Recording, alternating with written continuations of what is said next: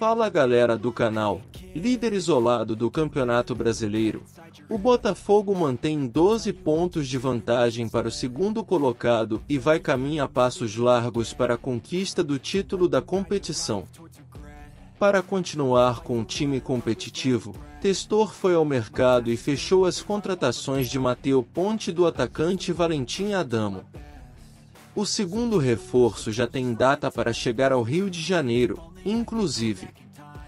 De acordo com a apuração do portal Fogão Net, Adamo chega ao Rio de Janeiro no próximo domingo para se apresentar.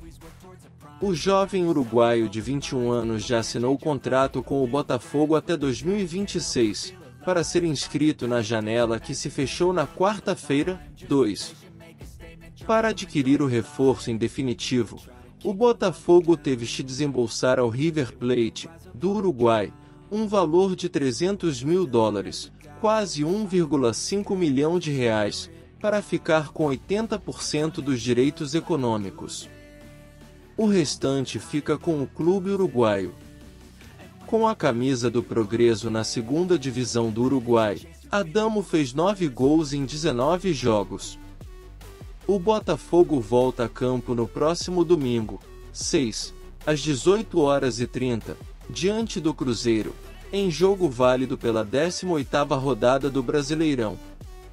A tendência é que Adamo esteja à disposição de Bruno Lage já na próxima segunda-feira, 7, quando o atacante irá se juntar com os demais companheiros. Bom galera esse foi o vídeo, Espero que tenham gostado. Deixe seu like e comentem aqui o que vocês acharam. E inscreva-se no canal. And they're scared I walk a straight path. Not many can say that. I like to play fast. Cross me and there's payback. You better pray that